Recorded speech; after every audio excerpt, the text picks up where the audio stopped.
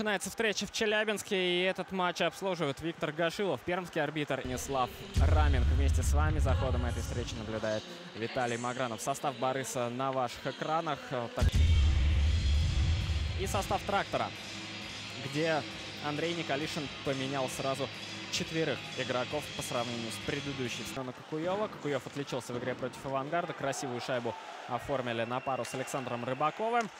После, правда, спросили Николишина, считаете ли вы их звено лучшим? Ох ты! Какая залетает! И неужели там Семен Кукуев с пятачка подправил? Сагамбаев призывает своих проснуться. Трактор давно разбужен. Ну, смотрим, наброс Рыбакова действительно подставляет свою клюшку Кокуев.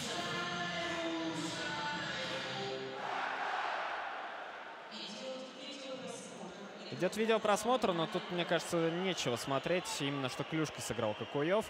Понятно, что так для протокола Борис попросил этот момент еще раз разобрать видеоарбитра.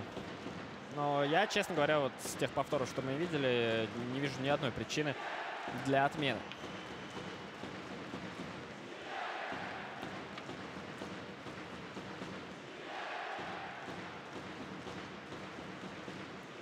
Подождем. Подождем решения. А, все-таки в конек. В конек попала шайба. И теперь вопрос, э, посчитает ли видеоарбитр этот эпизод как явное движение ногой в сторону ворот. Я предположу, что эту шайбу засчитают.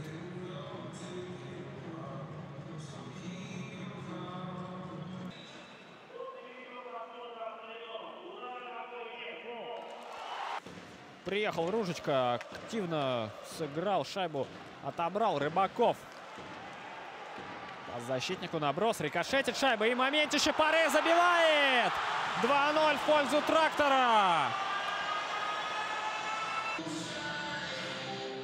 Вот такой рикошет от Ружечки. И там шайба-то на ребре по-прежнему стояла. Паре так махнул клюшкой в дальний угол, выцеливая. И попал здорово.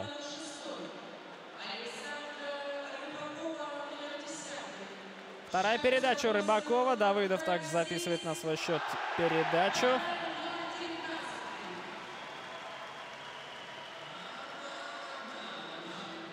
А автором шайбы становится. Время потянул. Это сейчас важнее, это принципиально. Семенов мощно заряжает, Демченко отбил перед собой. Далеко выкатился голкипер трактора, шайба не прижата, гол Краснослободцев. Выцарап. Слишком далеко Демченко выкатился, покинул вратарскую площадку. И там Краснослободцев оказался расторопнее всех. Четыре игрока в черной форме, два игрока в белой, это не считая все вратаря. И Краснослободцев здесь оказывается самым расторопным. Важный гол для Бориса. И потому что реализовали большинство, и, конечно, в первую очередь, потому что отквитали один гол совещаются. Старт шайбу откинул, но она досталась трактору. Бросок. И в атаке концовка матча встречает трактор. Пистунов тут корпус выставляет, но даже не думает о том, что делать дальше, потому что вот она, сирена, и трактор одерживает победу. После двух проигранных матчей три очка зарабатывают подопечные Андрея Николишина. И сегодня зарабатывают по делу. Победа в основное время.